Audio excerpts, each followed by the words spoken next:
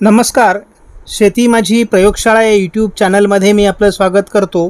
या चॅनलवर आपण नवीन असाल तर या चॅनलला सबस्क्राईब करा. या चॅनलचे नवनवीन व्हिडिओ पाहण्यासाठी बेल आयकॉन नक्की दाबा. आपणास व्हिडिओ आवडल्यास लाईक आणि शेअर अवश्य करा. भारतीय हवामान खात्याच्या समोरील सॅटेलाईट इमेजमध्ये दोन तीव्र कमी दाब दिसत आहेत. परंतु भारताच्या दक्षिणेला अरबी समुद्रामध्ये जे प्रचंड ढगांची गर्दी झाली या ठिकाणी आज भारतीय हवामान खात्याकडून शाहीन चक्रीवादळाची निर्मिती होईल अशी शक्यता वर्तवण्यात आली आहे. समोरील भारतीय हवामान खात्याच्या वेबसाईटवर अरबी समुद्रामध्ये एक डिप्रेशन तयार होण्याची शक्यता व्यक्त करण्यात आलेली आहेत साधारण पुढील पाच दिवसामध्ये त्या संदर्भातील प्रक्रिया देण्यात आलेली आहे. साधारणपणे तीस तारखेपासून या ठिकाणी आपण बघू शकता की तीस सप्टेंबर ते दोन ऑक्टोबरपर्यंतची ही शक्यता आहे. याविषयी संपूर्ण मीडियावर शाहीन चक्रीवादळाच्या संदर्भात ती चर्चा आहे. त्या संदर्भात आपण लक्ष ठेवून आहोत. तर त्या संदर्भात आपण आजच्या व्हिडिओमध्ये चर्चा करणार आहोत. समोरील इमेजचं निरीक्षण केलं असता आपण बघू शकता एक पावसाचं क्षेत्र किंवा तीव्र कमी दाबाचं क्षेत्र हे कलकत्ता उरिसाच्या दरम्यान आहे. दुसरं नाशिकपासून गुजरातकडे सरकून आता ते अरबी समुद्रात जातं आहे परंतु त्याच वेळेस आपण बघू शकता की त केरळ तामिळनाडूच्या दरम्यान श्रीलंकेदरम्यान एक पांढरा या ठिकाणी ढगांचा गुच्छ दिसतो आहे तर या ठिकाणी शाहीन चक्रीवादळाची शक्यता भारतीय हवामान खात्याकडून वर्तवण्यात आली आहे आणि याची तीव्रता वाढून पुन्हा एकदा महाराष्ट्रावर आणि भारतावर पावसाचं प्रमाण वाढेल अशी शक्यता वर्तवण्यात आलेली आहे. समोरील इमेजमध्ये आपण बघू शकता दोन्ही तीव्र कमी दाब. अजून अस्तित्वात आहेत. नवीन शाहीन चक्रीवादळासंदर्भात एक संकेत व्यक्त केला असला तरी तीस तारखेपासून दोन ऑक्टोबरपर्यंत याचा कालावधी देण्यात आलेला आहे. तर त्या संदर्भात आपण लक्ष ठेवून आहोत. काल आपण व्हिडिओमध्ये दिलेलं आहे की शाहीनची शक्यता नाही. परंतु त्या संदर्भात आपण जो तीव्र कमी दाब ओरिसावर सध्या आहे. त्या संदर्भातील आपलं मत व्यक्त केलेलं आहे.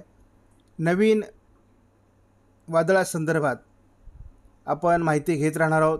समोरील इमेजचं निरीक्षण केलं असता आपल्याला गुजरातवर एक कमी दाब दिसतो आहे त्याच वेळेस एक कमी दाब हा धनबाद दरम्यान दिसतो आहे आता गुजरातवरील कमी दाब हा अरबी समुद्रातून निघून जाणार आहे.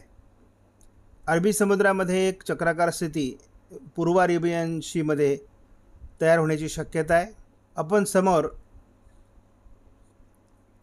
भारताच्या दक्षिणेला एक मोठी चक्राकार स्थिती निर्माण होताना दिसते आहे.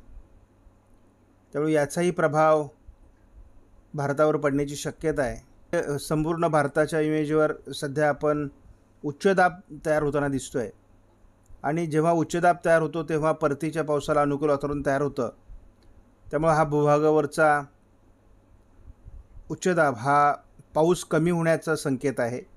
आणि आपण अंदाज व्यक्त केलेलाच आहे की चार तारखेला साधारणपणे भारताच्या भूभागावर परतीच्या पावसाला अनुकूल वातावरण तयार होईल. एक चक्राकार स्थिती अरबी समुद्रात तयार होते. आहे म्हणजे हे संपूर्णपणे जे काही मोठी चक्राकार स्थिती निर्माण होते आहे यातूनच एखादं शाहीन चक्रीवादळ तयार होईल का? हाही प्रश्न आहे.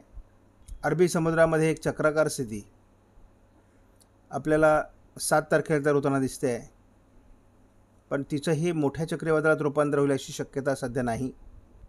समोरील इमेजमध्ये आपण बघू शकता श्रीलंकेच्या दरम्यान एक चक्राकार स्थिती आज निर्माण होणार आहे. आणि तिचं पुढे तीव्रता वाढणार आहे. आणि त्या तीव्रतेमुळे आपल्याला महाराष्ट्रात पाऊस वाढण्याची शक्यता आहे. एक तारखेला संपूर्ण दिवसभरात आपल्याला भारतात महाराष्ट्रात पावसाचं वातावरण वाढताना दिसेल. परंतु मध्यम स्वरूपाचा पाऊस आपल्याला एक तारखेला होताना दिसतो आहे तो रात्री एक तारखेला पुन्हा एकदा दक्षिणेकडून उत्तरेकडे असा प्रवास करणारा काही मध्यम स्वरूपाच्या पावसाचं वातावरण तयार होणार आहे. आणि या ठिकाणी एक मोठी चक्राकार स्थिती तयार होताना आपल्याला दिसते आहे. त्याच्यामुळे याचंच रूपांतर शाहीन चक्रीवादळात होईल अशी शक्यता वर्तवण्यात आली आहे. तर त्यावर आपण लक्ष ठेवून राहू. भारतीय हवामान खात्याकडून शाहीन चक्रीवादळाचा धोका अरबी समुद्रातून व्यक्त करण्यात आला. अरबी समुद्रात तयार तयार होत असलेले शाहीन चक्रीवादळासंदर्भात पुढील अपडेट आपण वेळोवेळी देणार आहोत. धन्यवाद. जय हिंद जय महाराष्ट्र जय बराजा